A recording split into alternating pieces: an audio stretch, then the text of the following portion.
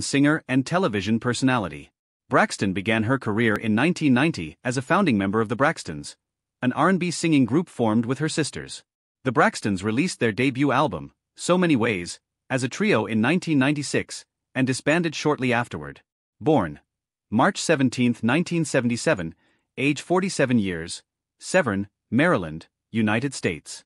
Spouse, Vincent Herbert, M. 2008-2019, Darrell Udelite Allamby, M. 2001-2003. Reality shows Dancing with the Stars, Celebrity Big Brother. Parents Evelyn Braxton, Michael Conrad Braxton. Siblings Toni Braxton, Tracy Braxton, Trina Braxton, Towanda Braxton, Michael Conrad Braxton Jr. Tamar Braxton net worth $3 million. Life and career 1977 to 1999. Early life and career beginnings. Tamar Estine Braxton was born to Michael and Evelyn Braxton in Severn, Maryland on March 17, 1977. The youngest of the Braxtons' six children, Braxton began singing as a toddler. The Braxton children would eventually enter in their church choir, where their father, Michael Braxton, was a pastor. She and her sisters Toni, Tracy, Towanda, and Trina signed their first record deal with Arista Records in 1989. In 1990, they released their first single, J Good Life, which peaked at no. 79 on the Billboard Hot R&B slash hip hop singles chart. At the time of the single's release, the members' age differences created a problem with marketing. Subsequently, the Braxtons were dropped from Arista Records.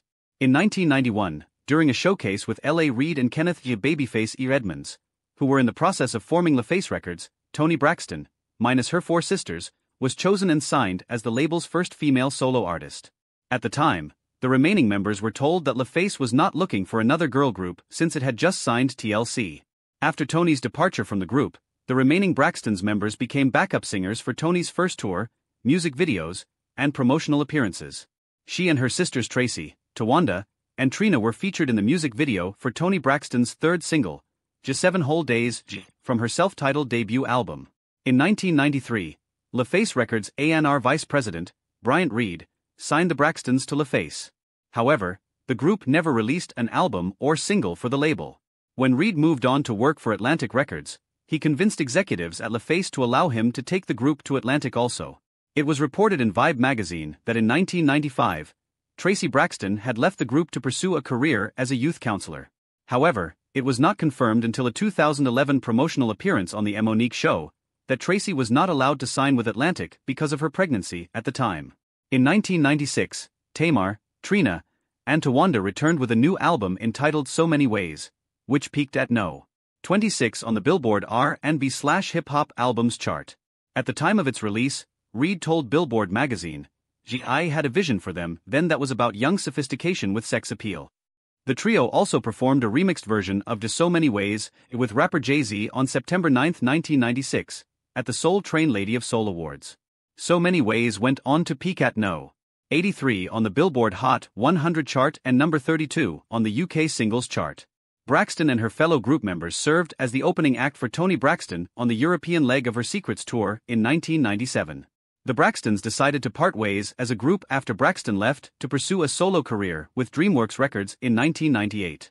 Personal life Braxton is the youngest of her siblings, including her sisters Toni, Tracy, Towanda, and Trina, as well as her only brother Michael Jr. on an episode of The Real. She revealed that she suffered from vitiligo.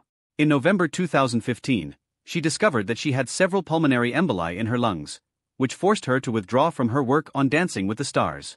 During an interview in October 2020, Braxton stated that she had been diagnosed with anxiety and depression.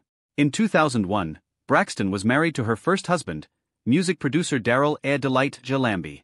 Allamby was a songwriter and producer who worked with his frequent songwriting partner Lincoln A. Link Jabrowder, as well as Silk, Busta Rhymes, and Gerald Levert. The two met while Allamby worked on Braxton's 2000 debut albums Traxy Money, Can't Buy Me Love, E and Once Again. The couple divorced in 2003 after two years of marriage.